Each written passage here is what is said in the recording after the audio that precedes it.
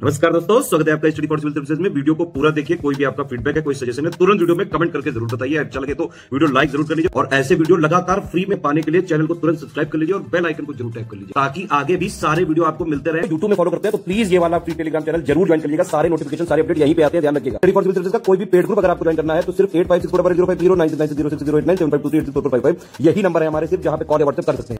Instagram पे हमारा page ज़रूर फॉलो कर लीजिएगा study for civil dot services है।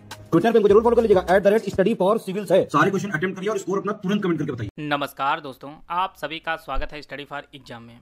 दोस्तों, यह यूपी ट्रिपल एस लेखपाल के सामान्य अध्ययन सीरीज़ का इक्कीसवां वीडियो है। इससे पहले बीस वीडियो आ चुकी है और इसका जो लिंक है, इसी वीडियो डिस्क्रिप्शन बॉक्स में डाल दिया, आप लोग उसे भी देख सकते हैं। वीडियो शुरू करने से पहले आपको बताना चाहता हूँ, हमारे कई पेड ग्रुप चलते हैं। अगर आप इन पेड ग्रुप को लेना चाहते हैं तो दिए गए नंबर पर कॉल कर जानकारी प्राप्त कर सकते हैं। तो दोस्तों, देखते हैं आज का पहला प्रश्न लोग। पर्यटन मंत्रालय के स्वदेश दर्शन योजना के लिए बजट 2022-23 में अनुमानित बजट कितना आवंटित किया गया है? इसके लिए चार ऑप्शन दिया गया, आप लोग ऑप्शन पढ़ लीजिए। इसका जो सही आंसर है, वो ऑप्शन सी ग्यारह सौ इक्यासी दशमलव तीन शून्य करोड़ रुपये स्वदेश दर्शन योजना के लिए बजट 2022-23 में आवंटित किया गया है।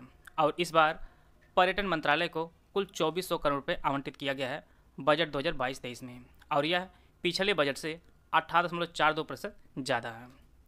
और स्वदेश दर्शन योजना जो है, वह पर्यटन मंत्रालय ने वर्ष 2014-15 में शुरू किया था। इसको भी आप लोग नोट कर लीजिएगा। इसका जो ऑप्शन सी है, वह सही है। आए थे अगला प्रश्न लोग।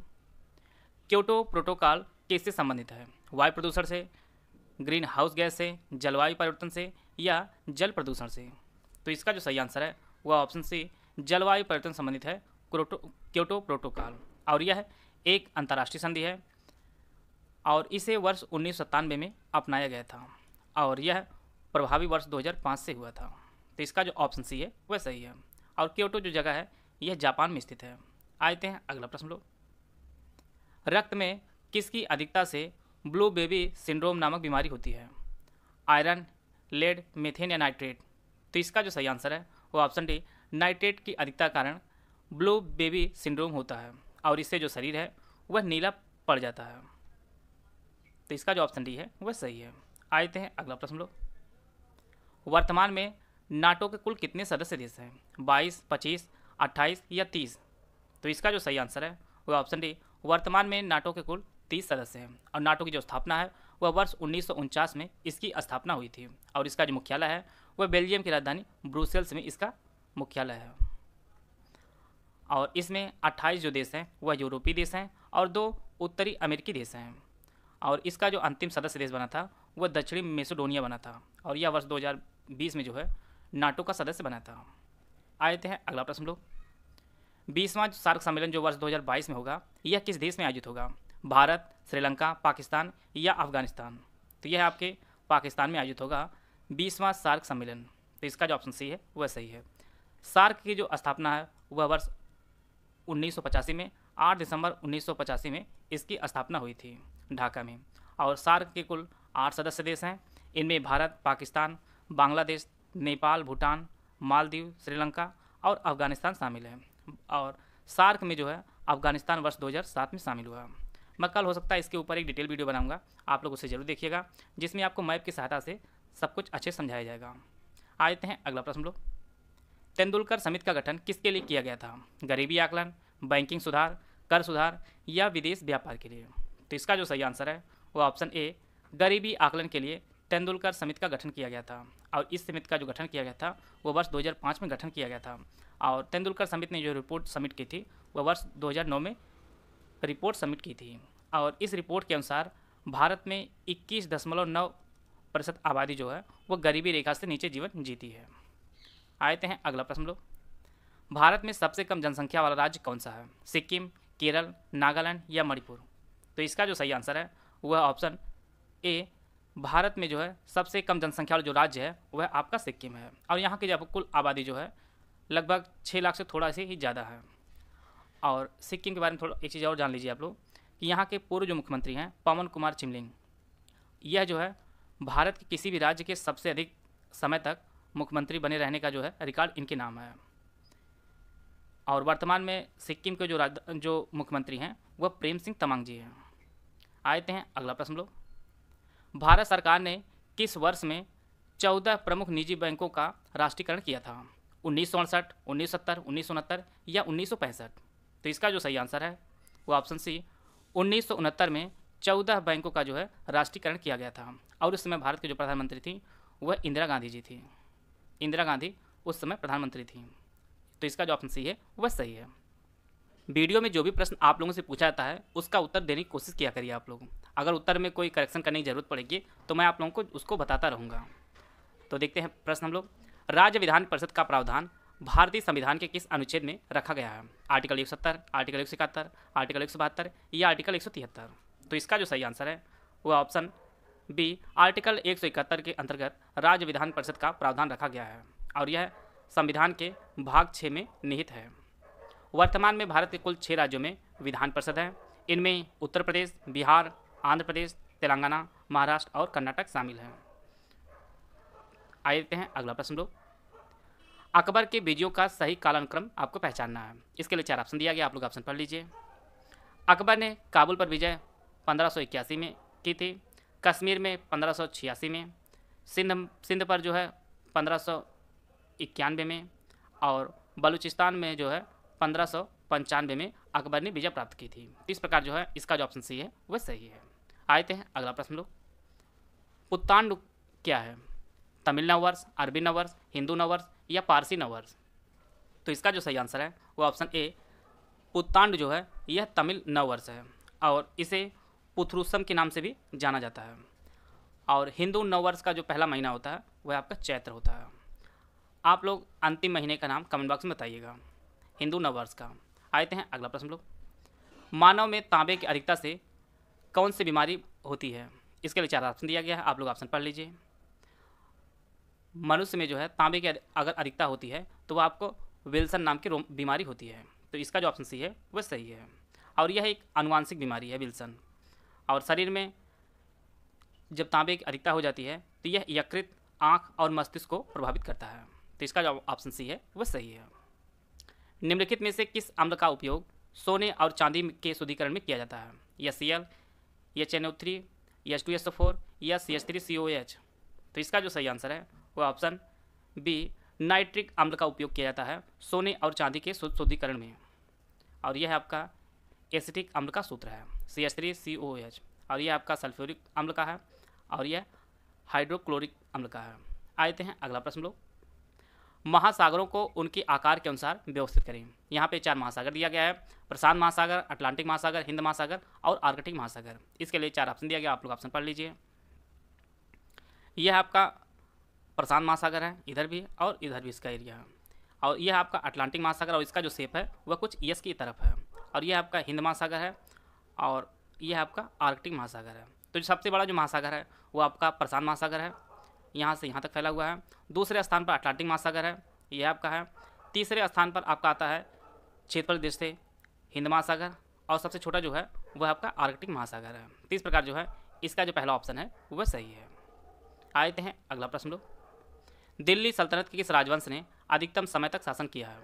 जैसा कि आप लोग जानते हैं कि दिल्ली सल्तनत में जो कुल पाँच राजवंश आते हैं, इनमें गुलाम वंश खिलजी वंश, तुगलक वंश, लोधी वंश और सैयद वंश आते हैं। और इन राजवंशों में जो सबसे अधिक शासन था, वह तुगलक वंश ने शासन किया था और उन्होंने कुल लगभग चौरानवे वर्ष तक शासन किया था। और बात करते हैं सबसे कम की तो सबसे कम खिलजी वंश ने शासन किया है। उन्होंने लगभग तीस वर्ष का शासन किया था। इसको भी आप लोग नोट कर लीजिएगा। आते हैं अगला प्रश्न लोग जानवरों के प्राकृतिक आवास में उनके व्यवहार के अध्ययन को क्या कहा जाता है? इसके लिए चार ऑप्शन दिया गया आप लोग ऑप्शन पढ़ लीजिए। तो इसका जो सही आंसर है, वो ऑप्शन ए इथोलॉजी कहा जाता है, जानवरों के प्राकृतिक आवास में उनके व्यवहार के अध्ययन को। तो इसका जो ऑप्शन ए है वह सही है। आए हैं अगला प्रश्न लोग। भारत में कितने मान्यता प्राप्त राष्ट्रीय दल हैं? सात, आठ छः या बारह? तो वर्तमान में भारत में कुल आठ राष्ट्रीय दल हैं। और राष्ट्रीय दल का जो दर्जा है, उसे प्राप्त करने की कुछ कंडीशन होती हैं। जैसे, इन्हें चार राज्यों की लोकसभा या विधानसभा में कुल परसेंट का जो है छः प्रतिशत वोट पाना आवश्यक है। या फिर कम से कम चार राज्यों में इन्हें राज्य दल का मान्यता प्राप्त हो। और वर्तमान में कुल आठ दल जो हैं, जो राष्ट्रीय दल हैं, इनमें बीजेपी, कांग्रेस, एनसीपी, बीएसपी, भारतीय communist party, national people party, Trinamool Congress और भारतीय कम्युनिस्ट पार्टी मार्क्सवादी है। तो टोटल जो है, आठ पार्टी है, जे, जो राष्ट्रीय दल हैं। और अभी जैसे आप लोग जानते होंगे, आप वाली पार्टी जो है, इसे राष्ट्रीय दल का दर्जा प्राप्त नहीं हुआ है इसे। आए थे अगला प्रश्न लोग। सेंट्रल एगमार्ग प्रयोगशाला किस शहर में स्थित है? नागपुर, पुणे, भोपाल या इंदौर? तो इसका जो सही आंसर है, वो ऑप्शन ए, नागपुर में स्थित है, सेंट्रल एगमार्ग प्रयोगशाला। और यह कृषि उत्पादों पर दिया जाने वाला एक नियोजित प्रमाण, प्रमाणन होता है। और यह निर्धारित करता है कि उसकी जो गुणवत्ता है, वह अच्छी है। और भारत में वर्ष उन्नीस सौ सैंतीस से जो है, यह प्रभावी है। एक मार्क आए थे हैं अगला प्रश्न लोग। सरदार सरोवर परियोजना से निम्नलिखित में से किस राज्य को लाभ मिलता है? यहाँ पे चार ऑप्शन दिया गया, आप लोग ऑप्शन पढ़ लीजिए। इसका जो सही आंसर है, वो ऑप्शन से सरदार सरोवर परियोजना से गुजरात, मध्य प्रदेश, महाराष्ट्र और राजस्थान जो है, वह लाभान्वित होते हैं। और इस परियोजना से इन राज्यों में पानी और बिजली की आपूर्ति की जाती है। सरदार सरोवर परियोजना जो है, यह नर्मदा नदी पर स्थित है। तो इसका जो ऑप्शन सी है, वह सही है। आते हैं अगला प्रश्न लोग। विजयनगर के तुलु वंश की स्थापना किसके द्वारा की गई? वीर नरसिंह कृष्णदेव राय, हरिहर या सदाशिव। तो इसका जो सही आंसर है, वो ऑप्शन है वीर नरसिंह ने विजयनगर के तुलु वंश की स्थापना की थी और वर्ष 1505 में इसने तुलु वंश की स्थापना की थी और इसने सालू वंश के शासक इमाद नरसिंह की हत्या करके तुलु वंश की स्थापना की थी और कृष्णदेव राय जो है, वह तुलु वंश के ही प्रसिद्ध शासक थे। आते हैं अगला प्रश्न लोग। आधुनिक आवर्त सारणी में कुल कितने समूह और कितने आवर्त हैं? इसके लिए चार ऑप्शन दिया गया, आप लोग ऑप्शन पढ़ लीजिए। तो इसका जो सही आंसर है, वो ऑप्शन ए आधुनिक आवर्त साड़ी में कुल सात आवर्त और अट्ठारह समूह हैं। तो इसका जो ऑप्शन ए है वह सही है।